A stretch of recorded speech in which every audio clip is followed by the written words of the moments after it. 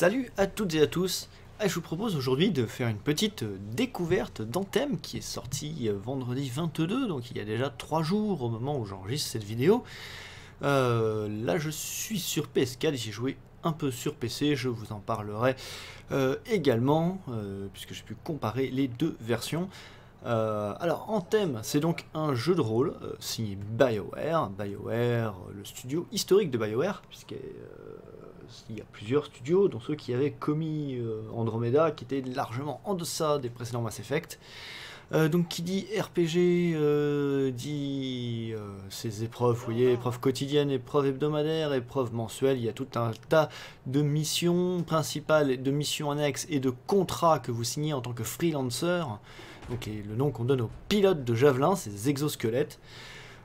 nous sommes ici à Fort Tarsis, qui est bah, votre base, qui est en fait l'humanité euh, sur la planète euh, où l'action se passe vit dans des forts, puisqu'à l'extérieur, euh, les reliques des démiurges, donc qui sont les dieux qui ont façonné le monde, les dieux ont disparu et ont laissé derrière eux les reliques et le monde inachevé.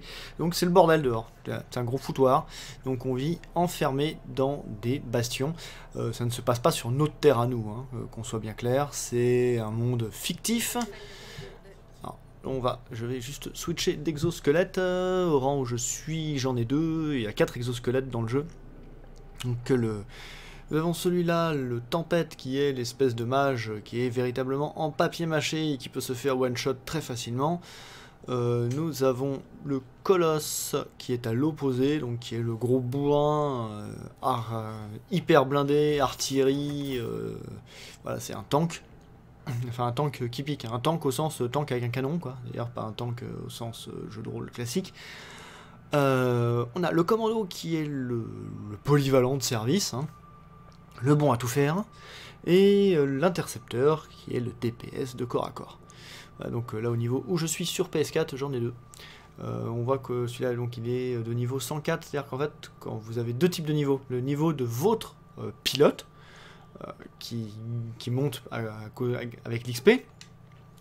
Et euh, au fur et à mesure de l'XP, bah, vous débloquez euh, en fait le, la possibilité de, on va essayer aller là, d'équiper plus ou moins d'éléments. Vous voyez, par exemple, encore des blocs de verrouillés. donc, selon votre expérience, donc vous pouvez débloquer des éléments supplémentaires et les équiper, ce qui permet donc d'améliorer le niveau de l'exosquelette. Et du coup, bah, vous n'êtes pas cantonné quand, euh, à devoir monter euh, tous les exosquelettes euh, séparément. C'est-à-dire que vous allez avoir des loots pour vos modules, par exemple typiquement les composants. Hein, les composants que vous lootez en mission correspondent à l'exosquelette que vous jouez. Mais pour ce qui est des armes, les armes peuvent passer bah, d'un exosquelette à l'autre. il y a certaines armes qui sont compatibles avec certains exosquelettes. Mais équiper ces 4 exos reste faisable dans la mesure où il va vous suffire de rejouer certaines missions tout simplement pour raccrocher le niveau hein, du euh, le, niveau d'équipement descend de l'exo.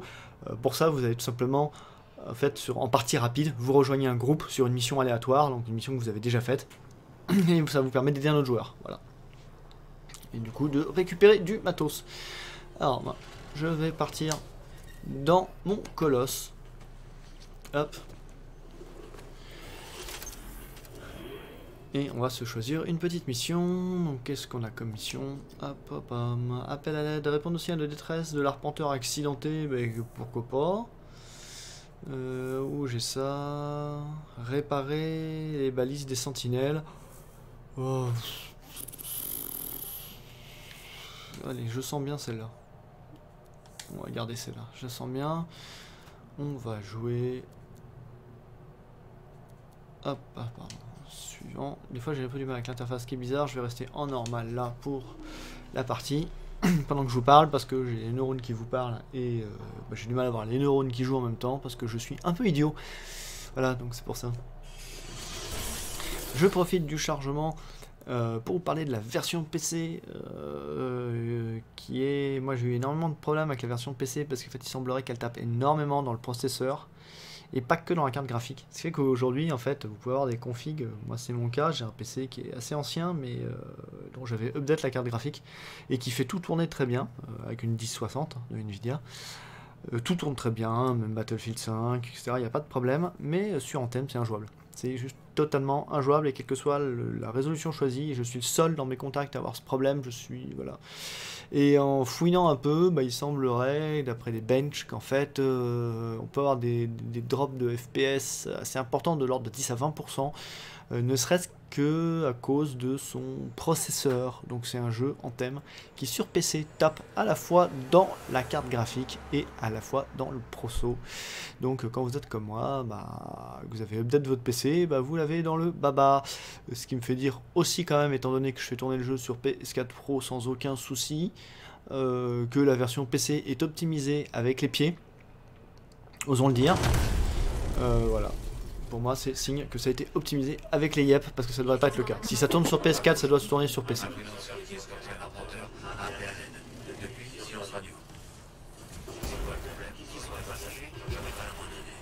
ça, c'est kiffant de pouvoir passer du vol au sol, on peut passer sous l'eau, donc il faut juste gérer la surchauffe. sachant que moi j'ai le colosse qui est celui qui vole le moins bien hein, du lot.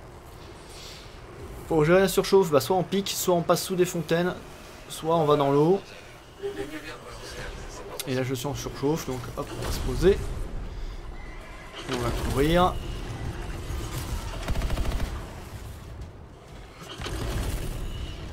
L'arpenteur, c'est ça, les fameux arpenteurs, bah, c'est des véhicules hein, de, transport dans le monde d'Anthem. Et donc lui, il est en panne, il faut aider les gens à l'intérieur.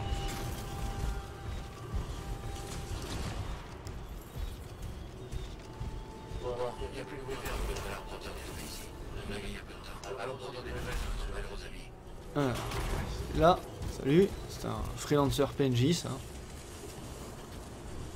comment je fais pour prendre de tes nouvelles?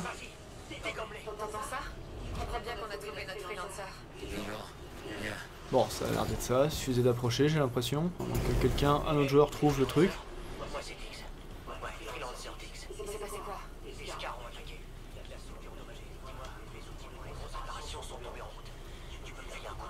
Ah bah.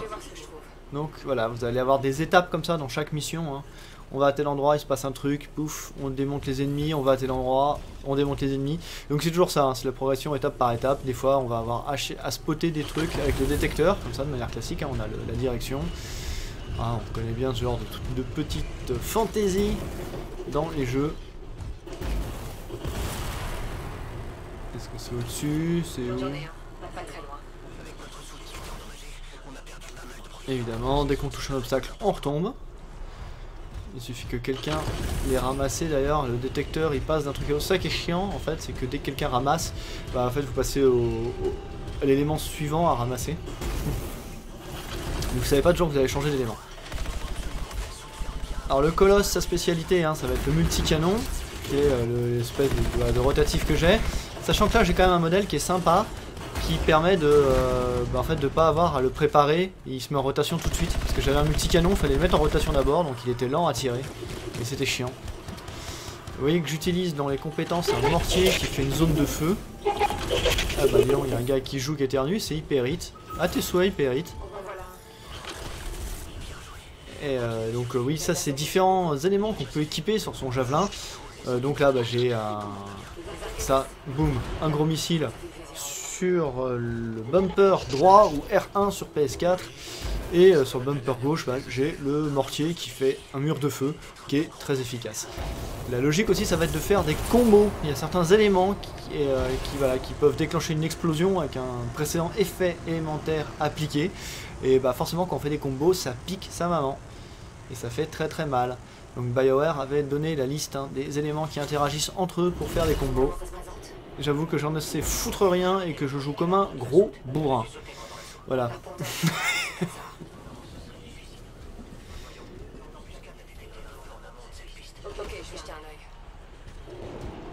Alors ce qui est chiant c'est qu'en fait aussi quand on joue avec plusieurs comme ça, c'est que les dialogues sont déclenchés par le premier qui arrive sur la zone.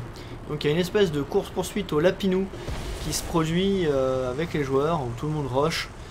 Et quand on est en colosse, qu'on est lent, bah en fait on arrive souvent après la bataille.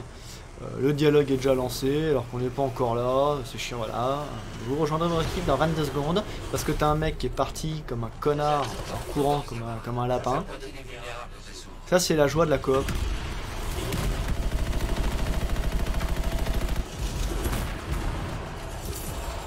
Hop, je vais mon petit mur de flamme là. Là, on traverse-le.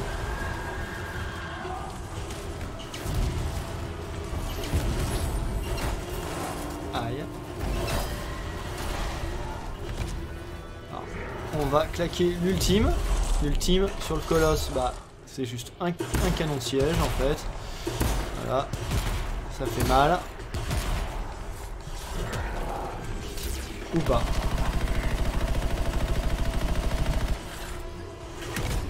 On met le bouclier, le colosse hein, a cette capacité de faire du boubou.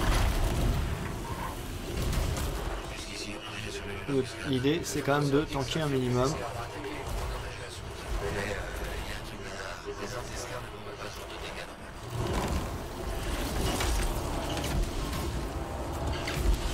Allez, on prend des coups de bouclier.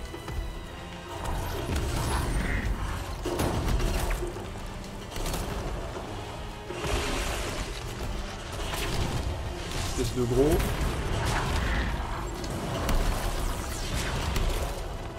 Alors le colosse c'est quand même le plus costaud du lot. Là, les effets qu'on voit, bah ça je pense que c'est... Voilà c'est lui. Vous voyez quand il plane toujours hein, le tempête. Le tempête a intérêt à rester en l'air parce qu'en fait il est vraiment en mousse. Donc faut qu'il reste en l'air. Euh, loin des adversaires. Parce que euh, moi je me suis fait one shot en tempête, mais euh, grave quoi. Genre t'arrives, ouais, salut, ça va les gars? Bon bah voilà, merci, au revoir. Donc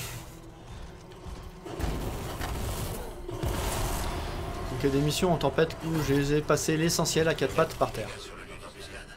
Après le tempête est jouissif aussi. C'est ça, envoie du lourd. Mais j'aime bien le colosse, le colosse c'est celui qui se prête le mieux au mode difficile. Euh, assez rapidement parce que c'est vraiment le easy mode hein, du mode difficile de Colosse.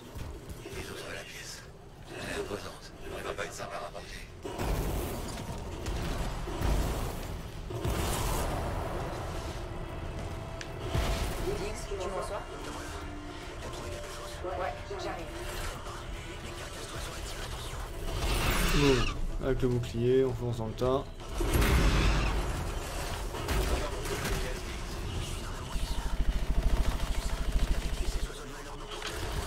Ah ouais, en fait, j'étais tout seul à les, péter. Sympa, les gars. Hein. Donc ouais, tout le jeu se base hein, quand même sur euh, la coopération entre 4 joueurs. Mais c'est vrai que vous avez intérêt à le faire entre potes. Déjà parce que vous pourrez vous faire une compo un peu équilibrée avec les différentes classes. Et ensuite parce que euh, voilà, avec des, purs inconnus, c'est souvent assez compliqué la mesure où euh, bah, c'est la course il suffit que vous ayez envie de looter un truc, que tout le monde se soit déjà barré, vous vous faites TP quoi. TP dans la zone de l'action, parce que quelqu'un a tracé. Tiens, dégage. Il est sympa ce canon euh, du coup, il se recharge mieux que le précédent. Enfin, il se recharge mieux. C'est-à-dire que, euh, il n'y a pas besoin de le préparer. L'autre, j'étais obligé de préparer la rotation du canon, mais là, là ça passe. Alors, on peut avoir deux armes. Ma deuxième arme, oui, bah celui c'est juste un simple fusil mitrailleur. Hein. Mais le canon rotatif, il euh, bah, a que le colosse qui peut le porter. Euh, euh, tais-toi s'il te plaît. Merci. je t'ai pas demandé ton avis.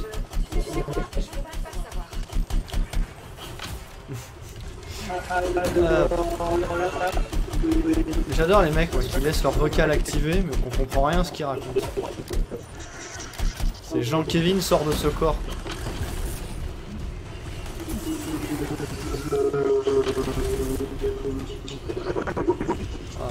Peux pas le mettre en mute. Je sais même pas où est le menu du groupe en fait. Ouais, c'est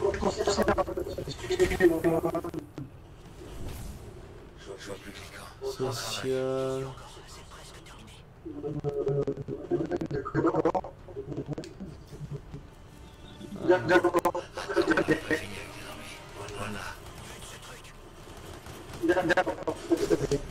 Voilà, ah, tu te tais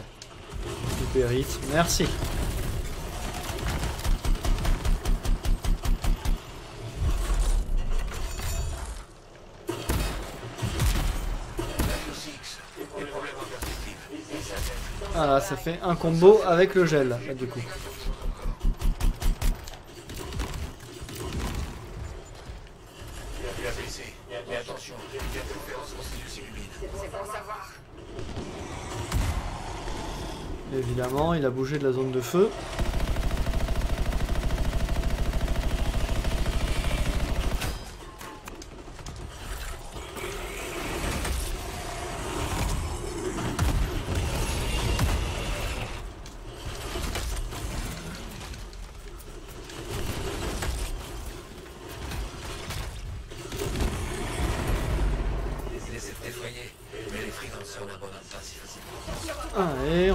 Tanker quand même. Hein. Ouais, enfin, ça serait bien que... Ah, bah, je vais me barrer, hein, parce que vous êtes gentils, les gars, mais vous faites des claquettes, hein. On va aller chercher de l'armure, des munitions et de l'armure. Ah. Tiens, on prend ça dans ta bouche.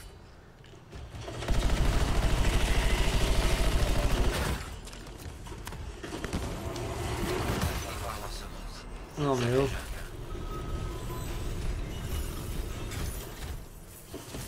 Sérieux. Ah, c'est vrai que le colosse, hein, c'est de la poésie, de la finesse et de l'amour. Moi j'aime bien. J'avoue j'aime bien. Le tempête, je trouve fun, mais euh, trop fragile, beaucoup trop fragile. Par contre, le tempête, à la différence du colosse, il se joue moins avec ses armes à feu qu'avec ses pouvoirs.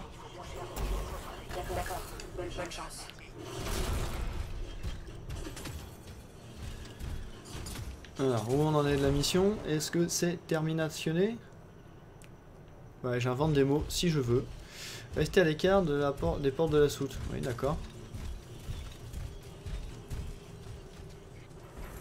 On dirait que le freelancer dit que ses passagers sont en chemin. Ils arriveront à Fortin 6. Il va falloir qu'on s'asseye et qu'on discute de ce qui s'est passé. C'est clair. Bien, excellent travail. Et voilà, mission accomplie. J'ai l'impression. Yes. Donc voilà, fin de la mission, on va voir un peu le, décompte de l'XP. Euh, puisque comme je vous disais, vous allez avoir de l'XP qui va vous faire monter en niveau, vous, en tant que pilote. Donc, euh, votre niveau de pilote ne dépend pas du javelin que vous pilotez, comme je vous indiquais. Par contre, vous allez voir ce qui va se passer pour les loots. Euh, donc, bah, logiquement, je vais avoir des loots de colosse, hein, puisque j'ai joué de colosse. Ce qui fait que bah, si on veut monter en puissance euh, un autre javelin qui n'est pas équipé, bah, il faut aller se faire mal. Sachant que là, c'était moi qui étais avec le plus gros niveau. Euh, j'ai eu des cas où j'étais le plus petit niveau du groupe en mode difficile et j'ai douillé grave, donc je pense qu'il y a un scaling quand même sur la puissance du groupe. Par contre, bon, c'est vrai que l'intérêt, c'est que vous êtes niveau max, vous avez un pote qui débute le jeu, vous pouvez parfaitement aller l'aider. Euh. On n'est pas séparé de ses potes parce qu'on n'est pas du même niveau qu'eux. Donc euh, les bonus d'alliance, donc on a les, alliances où on fait de l'XP, où on atteint un certain niveau dans les alliances, ça permet de débloquer des compos, euh, de débloquer des plans de craft, avec un système de craft hein, qui est basique, où on récupère des éléments, deux types d'éléments, dans les minéraux ou dans les végétaux, qui vont vous permettre de construire des modules pour équiper votre javelin ou de construire des armes. Et vous voyez, niveau de pilote augmenté, un emplacement de composants a été déverrouillé. je vais vous montrer ça dans la forge. on a tout le lot bah, d'armes hein, qu'on récupère à la fin. Donc bah, tout ce qui grille, moi déjà, je le dégage.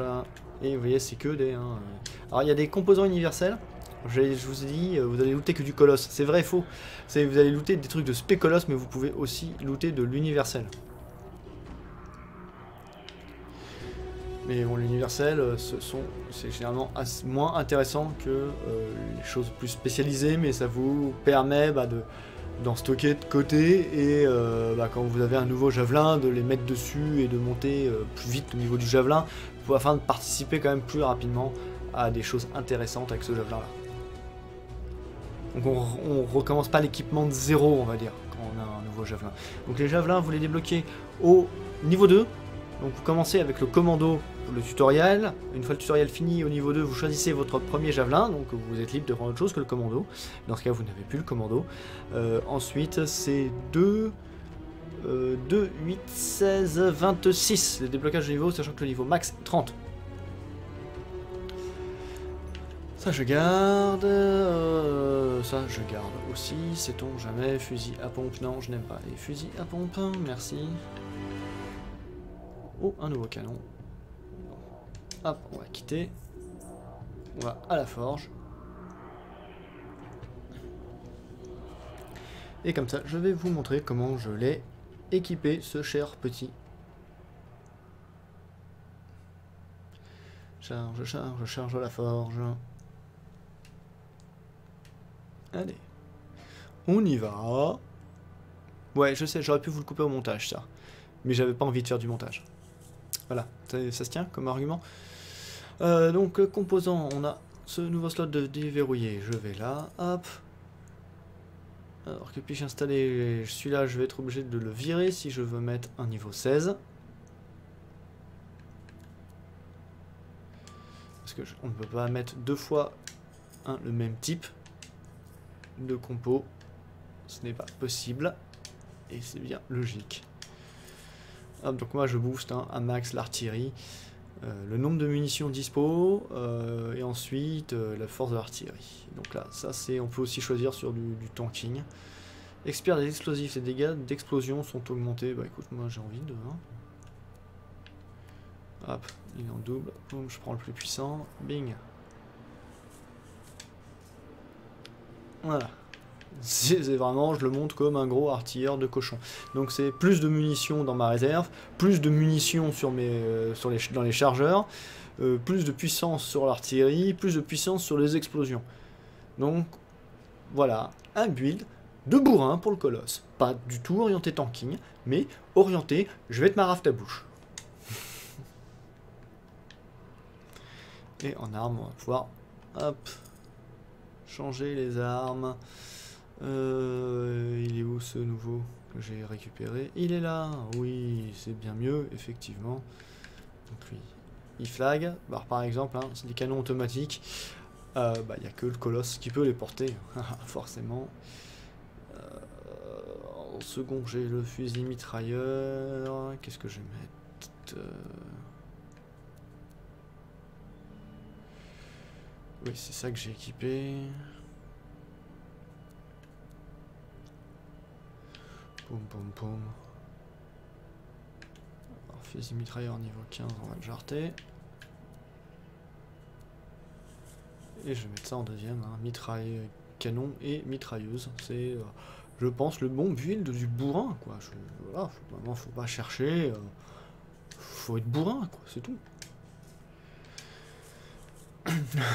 je vois pas où est le problème. Ah, je vais en profiter pour équiper, voir si je peux équiper un slot sur mon tempête. Donc le colosse est monté à 134. Le tempête, lui, qui est le deuxième que j'ai choisi, n'est qu'à 101. Euh, bah, on va voir si je peux fit quelques trucs en plus. Est-ce que je peux monter son niveau? Est-ce que j'ai quelque chose pour lui ici? Euh, Alors j'ai quoi? Ici Composant gravé qui augmente les dégâts de glace, donc j'ai plus de dégâts de glace, j'ai plus de dégâts d'explosion et j'ai plus de dégâts. euh, augmente les dégâts d'équipement. Donc les dégâts d'équipement c'est les deux, c'est les, deux éléments euh, qu'on équipe sur les bumpers. Donc ça c'est bon. Gravure de foudre. Bah oui. euh, sinon c'est quoi? Harmonisation élémentaire augmente les résistances aux dégâts élémentaires. Non. Augmente les dégâts d'explosion. Euh, bah, je vais remplacer l'autre. Et je vais mettre la foudre même si c'est un gris. C'est pas grave, je mets celui-là.